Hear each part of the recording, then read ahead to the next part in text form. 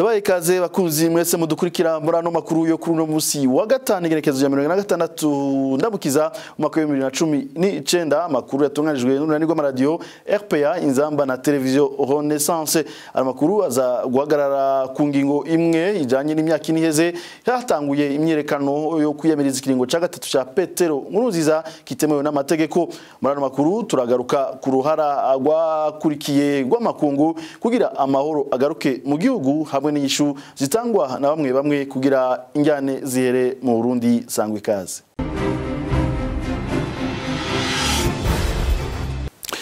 mu ndwi yahariwe kwibuka imyaka ine hatanguje imyiyerekano yo kwiyamiriza ikiringo ca Petero Nkurunziza kigira gatatu kinyuranye n'amategeko. Abarundi bahungiye mu gisagara ca Kigali ni mu gihugu kibanyi cy'u Rwanda baratunganije ikiganiro mu ntumbero yo kurabira hamwe ingene bo kwifata n'inyishu zikenewe kugira mu Burundi agaruke intahe n'ingingo. Ni nkuru twateguriwe na Rodrigue Ndikumwami.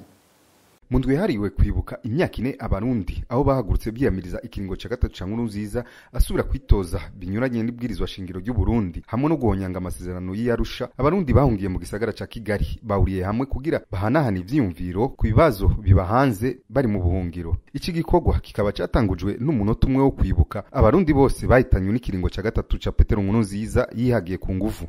Natasha Songore umwe batanze ikiganiro gifise icivugo uruhara rw'umukenyezi mu gusubiza umutamana igihugu c'u Burundi. Natasha Songore akaba yasavye abarundi bose bari mu buhungiro kwiyumvira umuntu wese ku gatwe kiwe gufasha kugira bazosubire mu gihugu cabo c'amavukiro.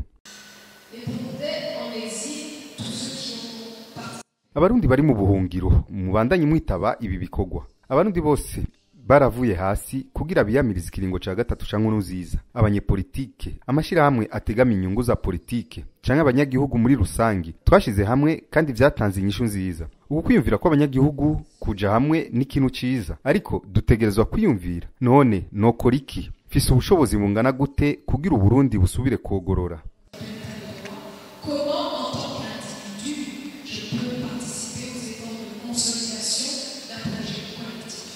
Abafasha amajambo muri iki kiganiro basavye ko abarundi bose bahunze na cane cane aba mu gihugu cy'u Rwanda gukundana gushira hamwe eka no kurengera ibibazo bama bahura navyo mu buhungiro. Gushika ubu abarundi bari mu buhungiro bakaba batahuye ko abantu bari bizeye ko uburaro n'uburamuko aribo babangaje banabishe Rodrigue Ndikumwami arakenuye abarundi aho bari hose barakwiye kumenya ko urugamba batanguye rwo kwanka akarenganyo ka Petero Nkurunziza rutararangira.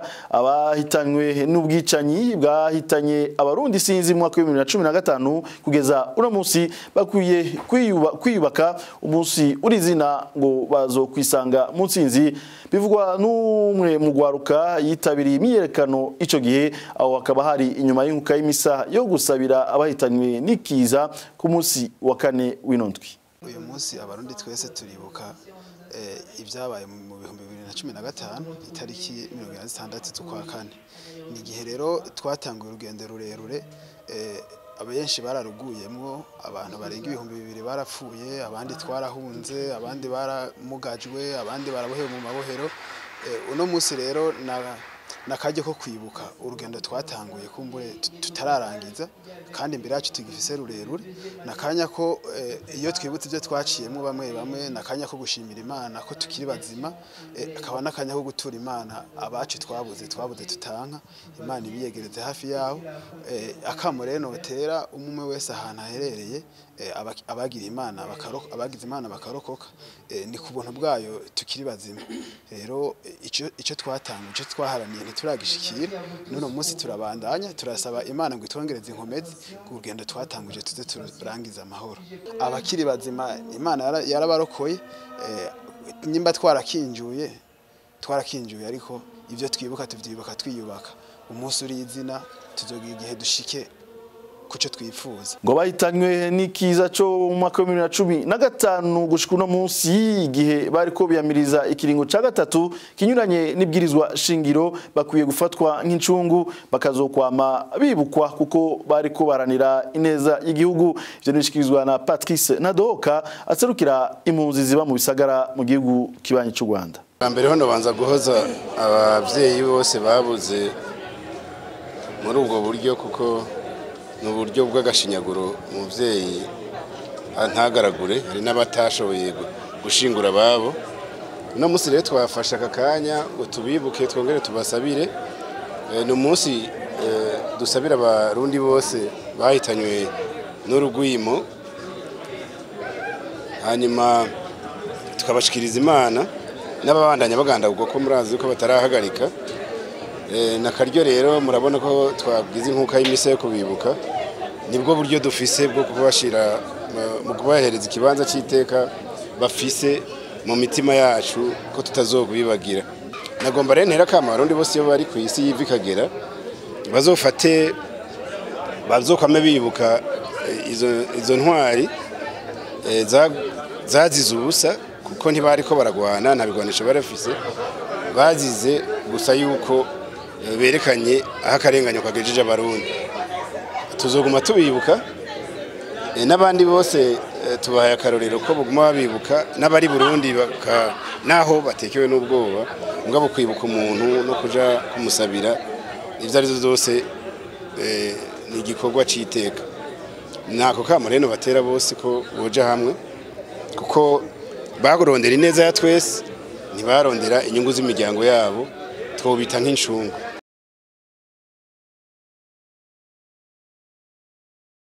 abarundi ngo borema ku vyerekeye amabi ariko arakogwa mu Burundi kuko abariko barabikora bazoteba bagashengezwa imbere y'ubutungane narijya ababikora bazwi bivugwa n'umushingwamanza Armel Niyongere ari mu bashingwamanza baburanira imiryango y'ababuze ababo. Uyu munsi turiko tubibuka imyaka ine iheze Petero Nkurunziza yishimikije inguva akishimikiza akarenga amategeko kugira yitoze mu kiringo cya gatatu cy'umukuru w'igihugu. Aho rero harakurikiye amabi ubwicanyi abarundi barangara gushika ubu abantu birirwa baranyuruzwa abandi birirwa baricwa by'agashinyaguro ari cyo gituma uyu munsi tuba tuje kwibuka bene wacu b'abarundi bari mu bibazo bariko baricwa batazi icyo bazira bangajwe tugasaba yuko imiryango yorema abarundi bari mu ngorane ubu bakarema kuko impera n'imperuka abariko bakora ry'amabi bazoja imbere y'ubutungane. Murazi neza yuko twashizeho na dosiye muri sentare mpuzamakungu mpanavyaha. Iyo dosiye rero amatohoza ariko araba kandi turizeye neza yuko abariko bakora ivyo bibi abo bariko barica abarundi. Bamenye yuko tubazi abo bariko barategura ubwicanyi abo bariko baranyuruza abantu bamenye ko impera n'imperuka. Bizoteba mugabo ubutungane buzobakubita intare mu gahanga. Tugasaba imiryango iri kibura ababo gushika uyu munsi yuko boguma babika neza ivyemezo vyerekana amabi ariko arakogwa ku miryango yabo. Kuko tuzobikenera kuko ubutungane buzobikenera. Si ubutungane gusa mpuzamakungu igihugu nicaba igihugu ubutungane bukisubiza ijambo intaha izokubitwa mu Burundi.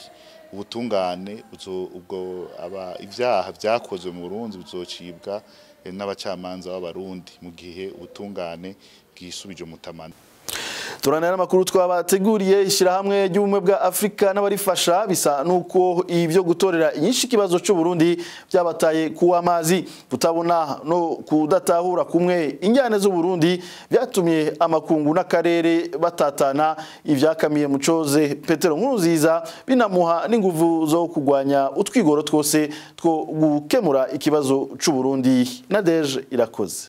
Kuva injyane zitangura mu Burundi, ishirahamwe ry'ubumwe bwa Afrika ryaragaragaje ko rigomba guhagararira uruhara rifise mu gukingira amasezerano y'amahoro no kunywanisha abarundi yateweho igikumu mu mwaka w'ibihumbi bibiri. Ayo na yo yarafise intumbero imwe rudende, usimbataza amahoro na demokrasi mu Burundi. Ku ncuro zitari zike, inama y'umutekano y'ubumwe bwa Afrika yaramenyesheje ko ihagaritswe umutima n'ivyabera mu Burundi bibangamira amahoro n'umutekano mu gihugu, bakaba bari bafise ubwoba ko bishobora gutandukira akarere kose. Kubera umurindi. Amabi n'ubwicanyi vyafashe mu mezi ya Munyonyo na Kigarama mu bihumbi bibiri na cumi na gatanu inama y'umutekano y'ubumwe bwa Afrika yari yafashe ingingo yo kurungika abasoda ibihumbi bitanu mu rwego bise Maprobu hari kuwa cumi n'indwi Kigarama umwaka w'ibihumbi bibiri na cumi na gatanu.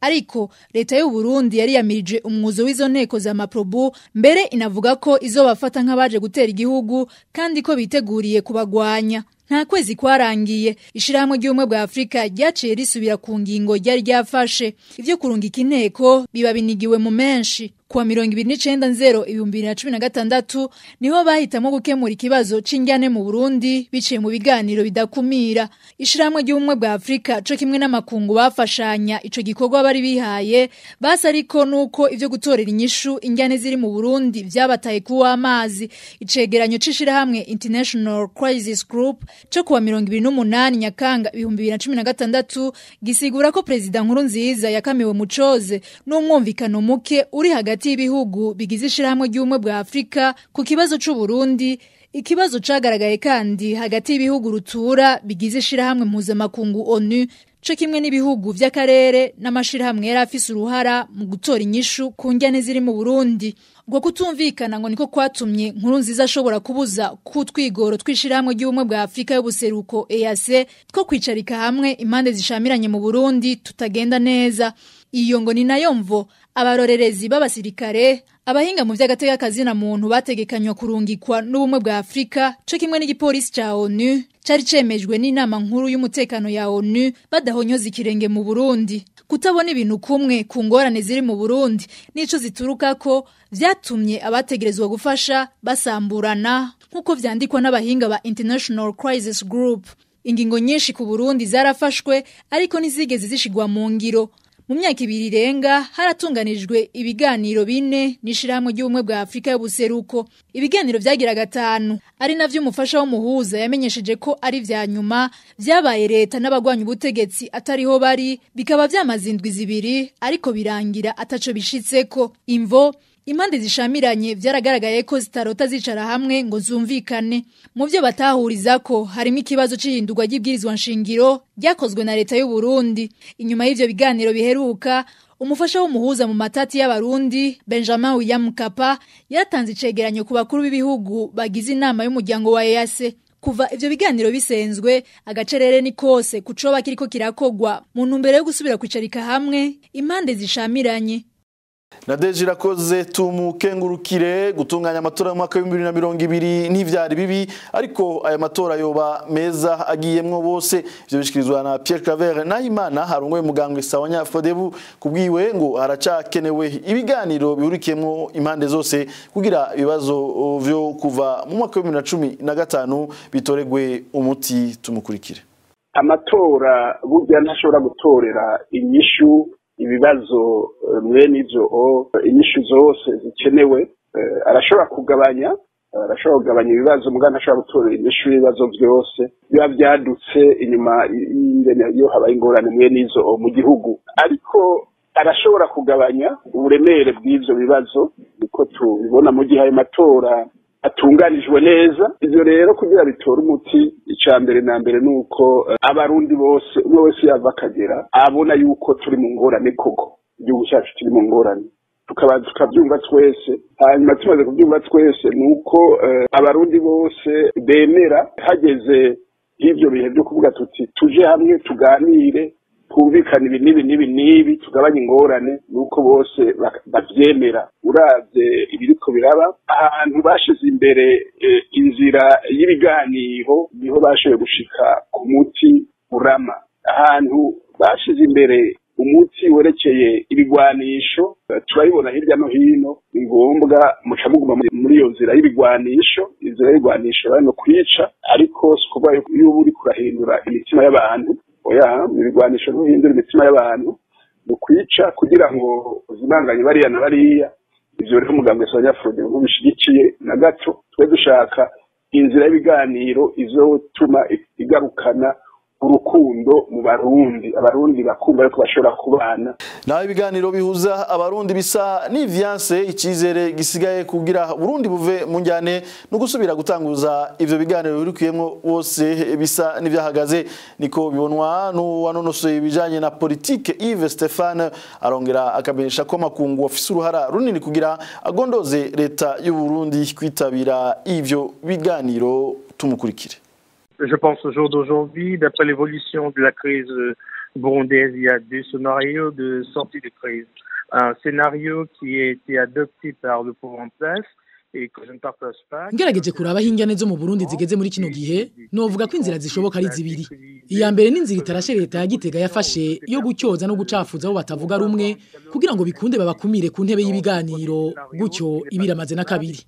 ivyo rero vyaratewe ivyatsi n'abatari bake harimo n'umuhuza mu matati y'abarundi facilitateur, comme vous le savez, qui a- n'a pas pu aller jusqu'au bout de ce qu'il souhaitait. Par contre, il y a un deuxième scénario qui peut voir le jour, qui est ce scénario qui est une approche inclusive, qui consiste euh, justement à faire aboutir le processus d'Arusha. inzira ya pouvoir kabiri remettre en place ni ibiganiro bidakumira mu ntumbero yo kubahiriza amasezerano ya Arusha yo mushinge w'amahoro n'iterambere birama ivyo biganiro rero vyoba bihurikiyemwo impande zose zishamiranye kugira bashobore kugira ico bapfunditse ku neza y'u Burundi be n'akarere leur parti politique ou leur approche de manière à pouvoir débattre et de pouvoir amener un certain nombre de solutions pour les Burundais et aussi pour la sous-région? muri kino gihe hasigaye amezi make gusa ngo Burundi buje mu matora ya bibiri na mirongo ibiri. Mbega kuri mwebwe mubona ko ayo matora ashobora kuba imwe mu nyishu ziri mu Burundi? C'est une approche de solution, début de solution, mais pas tout à fait la solution. amatora ni kimwe mu bishobora gufasha gutorera inyishu amatati y'abarundi ariko si yo nyishu. aha nshatse kuvuga iki? Nivyo ko amatora ari nkenerwa kuko atuma hahinduka hakaba n'ibisikanya ry'ubutegetsi nk'uko biri mu masezerano yarusha ariko uyu munsi hari ibintu bikibuze kugira ngo hatunganywe amatora meza yizigiwe na bose atabakumira kandi abera ku mugaragaro. muri make rero hari hakwiye kuba ibisikanya ry'ubutegetsi naho gushika ubu bisa n'ibidashoboka kubera ko ubutegetsi busa n'ubwahiziziye. Nari amakuru twabateguriye mu runani rw'amaradiyo duce tuyasozerera. Kanabashimira mwese mariko muradukurikira. Nawe ubutaha.